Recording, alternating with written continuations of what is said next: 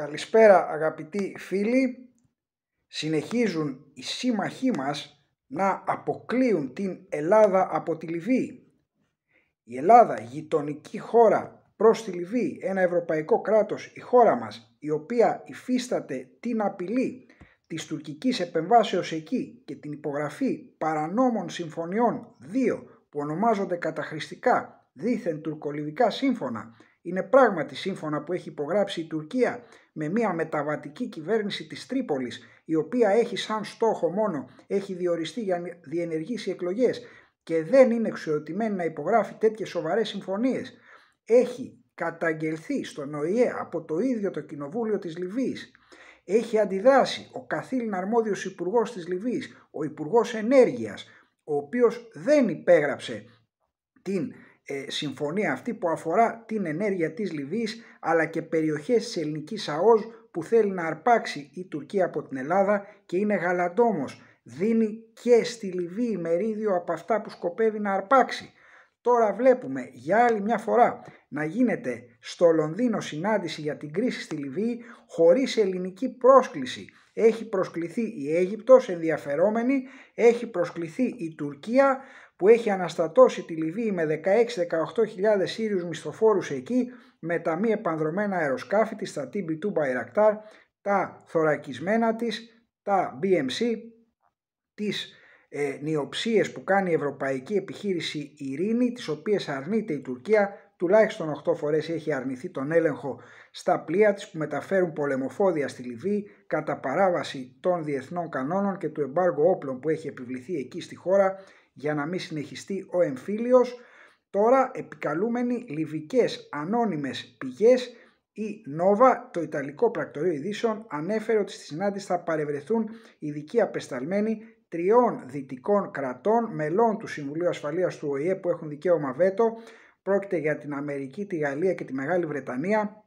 Έχουν προσκληθεί άλλα δύο κράτη ευρωπαϊκά, η Γερμανία και η Ιταλία ενώ θα είναι παρούσες η Αίγυπτος, εντάξει γειτονική χώρα, αραβική χώρα ναι, αλλά και η Τουρκία. Το όνομα που έχει πει η Νόβα είναι ο ειδικός απεσταλμένος της Ιταλίας στη Λιβύη Νίκολα Ορλάντο. Καμία άλλη πληροφορία. Αυτά προς το παρόν δεν έχω άλλη πληροφόρηση. Είναι το Ιταλικό Πρακτορείο Ειδήσεων Νόβα. Λοιπόν θα τα δούμε, συνεχίζουν οι σύμμαχοι να προσπαθούν να αποκλείσουν την Ελλάδα από τη Λιβύη.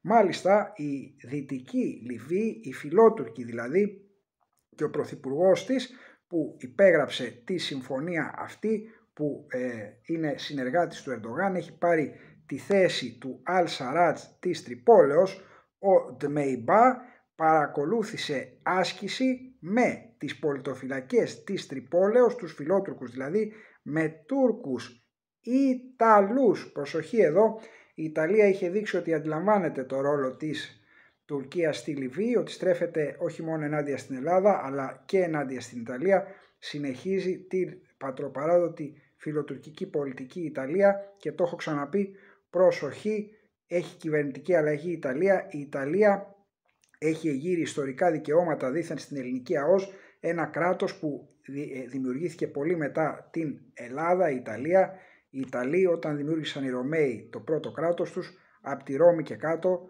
ιδιαίτερα από την Νεάπολη και κάτω, την περιοχή της Μεγάλης Ελλάδος βρήκαν Έλληνες, τους έχουν απαγορεύσει και στις αρχές του περασμένου αιώνα να μιλούν την ελληνική γλώσσα και γενικά η Ιταλία έχει αντιδράσει και στην απελευθέρωση της Βορείου Υπήρου από την Ελλάδα ενώ έχει ενισχύσει τους κεμαλιστές στη Μικρά Ασία και έχει υποσκάψει την προέλαση της Μεγάλης Στρατιάς της Μικράς Ασίας για την απελευθέρωση της Ιωνίας. Αυτά μόνο μερικά από τα ανθεληνικά επιτεύγματα της Ιταλικής κυβέρνησης. Για τους λαούς δεν μιλάμε, ισχύει το ούνα φάτσα, ούνα ράτσα, είναι η Ιταλή συγγενικό φύλλο, είναι το μεσογειακό φύλλο, το ελληνικό φύλλο είναι ο κλάδος ο Ιταλικός της μεσογειακής φυλής. Ο κύριος κλάδος είναι ο ελληνικός φυσικά και έχει δύο παρακλάδια, τον Ιταλικό και τον Ιβυρικό, στην Ισπανία δηλαδή. Λοιπόν, Τμεϊμπά, πρωθυπουργός της προσωρινής κυβέρνησης Εθνικής Ενότητας, δηλαδή ένας πρωθυπουργός μιας μεταβατικής κυβέρνησης για να κάνει εκλογές. Και υπέγραψε την παραχώρηση της Λιβικής ΑΟΣ στην Τουρκία για έρευνες και τμήματα μάλιστα της ελληνικής ΑΟΣ. Αυτά δεν στέκουν φυσικά πουθενά. Τυφών 1 η άσκηση, 53η ανεξάρτητη ταξιαρχία πεζικού, πορτοφυλακή είναι της Τρίπολης, φιλότουρκη, παρουσία του αρχηγού Γες, του αρχηγού Γες, όχι του Εθνικού Λιβικού Στρατού, που είναι πιστό στο Λιβικό Κοινοβούλιο, το δημοκρατικά εκλεγμένο, ο αρχηγός Γες των πολιτοφυλακών της Τρυπόλεως. 30 στρατιωτικά ε, τμήματα, λένε ε, λιβικά μέσα, συμμετείχαν Ιταλοί, Τούρκοι και Σουδανοί στρατιωτικοί ακόλουθοι με τους αρχηγούς του ειδικευμένου επιτελείου στο Γενικό Επιτελείο της προσωρινής κυβέρνησης Εθνικής Ενότητας, διευθυντές τμήματων και γραφείων στο Υπουργείο Άμυνας και πλήθος αξιωματικών του στρατού. Ο Ντμεϊμπά παρακολούθησε με λεπτομέρειες, είδε την άσκηση, έδωσε την άδεια να ξεκινήσει. Αλ Βασάτ, λιβικό μέσο, Μάλιστα, ο Ντμεϊμπά, ο φιλότουρκο πρόεδρος της κυβέρνησης Εθνικής Ενότητας, πραγματοποίησε διευρυμένη συνάντηση με όλους τους στρατιωτικούς επικεφαλεί που συμμετείχαν στην άσκηση για να μιλήσουν για μια σειρά από σημαντικά στρατιωτικά ζητήματα. Απ' την άλλη, ο Μενέντες, ο πρόεδρος της Επιτροπής Εξωτερικών της Αμερικανικής Γερουσίας, υποστηρίζει έρευνα που θα εξετάσει το ρόλο που έπαιξε ο τουρκικός στρατός στην κακομεταχείριση των 92 μεταναστών που βρέθηκαν χωρίς τίποτα στην περιοχή του Εύρου. Ο Αμερικανός γερουσιαστής συγχαίρει τις ελληνικές αρχές για την επιτυχημένη διάσωση αυτών των ανθρώπων. Σε ανάρτησή τους στα μέσα κοινωνικής δικτύωσης και συγκεκριμένα στο Twitter γράφει «Συγχαίρω τις ελληνικές αρχές για τη διάσωση των 92 ανθρώπων που βρέθηκαν κοντά στα σύνορα της χώρας με την Τουρκία.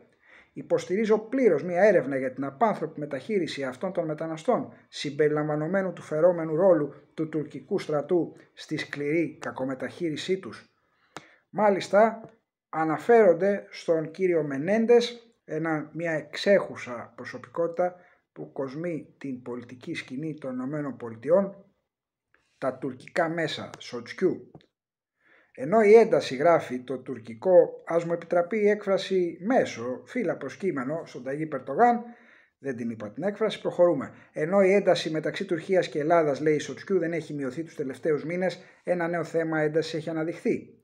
Την περασμένη εβδομάδα, ο Έλληνας Υπουργός Μετανάστευσης και Ασύλου, Νότης Μηταράκης, μοιράστηκε μια φωτογραφία μιας ομάδας προσφύγων χωρίς τίποτα στο λογαριασμό τους στα social media λέγοντας η στάση της Τουρκίας απέναντι στους 92 μετανάστες που διασώσαμε στα σύνορα σήμερα είναι ντροπή για τον πολιτισμό. Αναμένουμε από την Άγκυρα να ερευνήσει το περιστατικό και τελικά να προστατεύσει τα σύνορά της με την Ευρωπαϊκή Ένωση.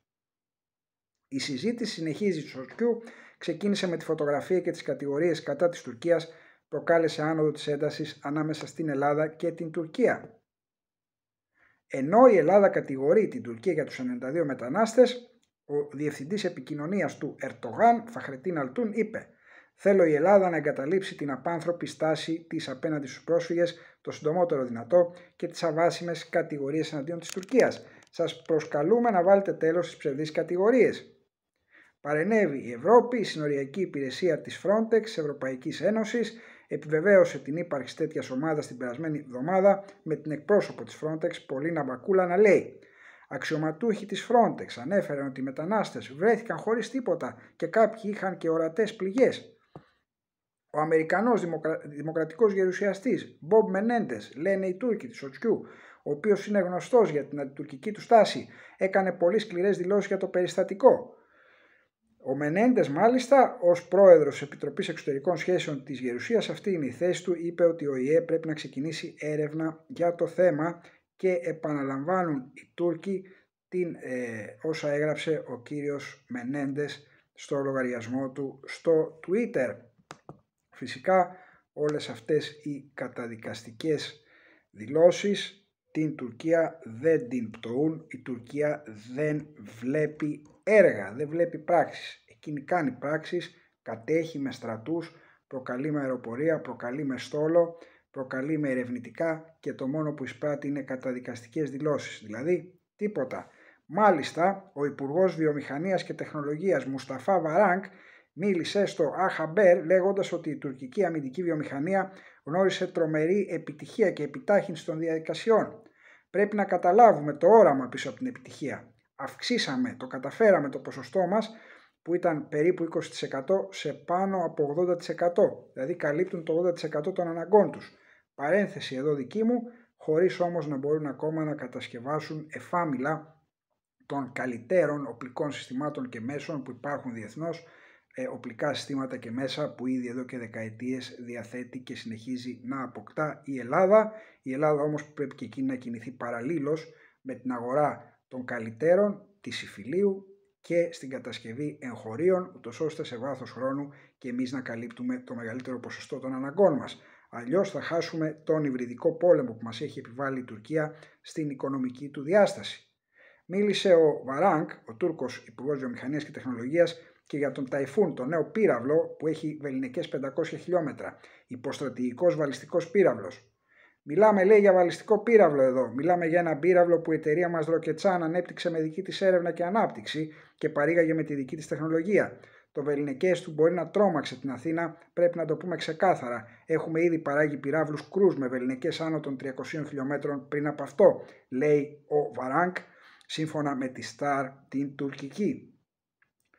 Αυτά προς το παρόν. Μην ξεχνάτε να κάνετε like και εγγραφή στο αγαπημένο σας κανάλι για να παραμείνει πρώτο στο χώρο της αδέσμευτης ενημέρωσης, στο χώρο του διαδικτύου και όχι μόνο. Ξέρετε ότι η δική μας φωνή σας λέει μόνο την αλήθεια, σας δίνουμε πληροφορίες ορθές και διασταυρωμένες και φυσικά δεν εκπροσωπούμε κανένα άλλο συμφέρον πέρα από αυτό της Ελλάδος, της Κύπρου, του απανταχού ελληνισμού, ενώ είμαστε υπερήφανοι που μιλάμε για τις ένοπλες δυνάμεις και τα σώματα ασφαλείας. Να είστε όλοι καλά, θα ακολουθήσουν εκπομπές μικρού και μεγάλου μήκους τις επόμενες ε, ώρες για την έγκυρη και έγκαιρη ενημέρωσή σας. Καλό βράδυ, καλή συνέχεια σε όλους.